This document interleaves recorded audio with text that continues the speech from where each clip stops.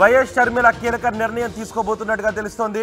ఆమె వైఎస్ఆర్ టీపీని కాంగ్రెస్లో విలీనం చేయాలి అనే నిర్ణయాన్ని తీసుకుంటున్నట్టుగా తెలుస్తోంది. నిజానికి గత తెలంగాణ అసెంబ్లీ ఎన్నికలకు ముందే నిర్ణయం తీసుకుంటారు అని అంతా భావించారు కానీ ఆ నిర్ణయం తీసుకోలేదు. ఆ తర్వాత కాంగ్రెస్కి సపోర్ట్ చేస్తూ ఆమె ఎన్నికల్లో పోటీ కూడా చేయలేదు. తెలంగాణలో కాంగ్రెస్ గెలిచిన తర్వాత ఇప్పుడు వైఎస్ఆర్ టీపీని కాంగ్రెస్లో విలీనం దిశగా చర్చలు జరుగుతూ ఉన్నాయి. అందులో ఉన్న పార్టీ నేతలతో ఈరోజు సమావేశాన్ని నిర్వహించబోతున్నారు. వైఎస్ఆర్ టీపీ నేతలతో ఈరోజు ఒక సమావేశాన్ని నిర్వహించబోతున్నట్టుగా తెలుస్తోంది. పార్టీ విలీనం భవిష్యత్ కార్యాచరణపై పార్టీ నేతలతో చర్చించబోతున్నట్టుగా తెలుస్తుంది. మీటింగ్ తర్వాత విలీనంపై ప్రకటన చేసే అవకాశాలు ఉన్నాయి మధ్యాహ్నం రెండు గంటల తర్వాత కుటుంబ సమేతంగా ఇడుపులపాయకు షర్మిల వెళ్ళబోతున్నారు.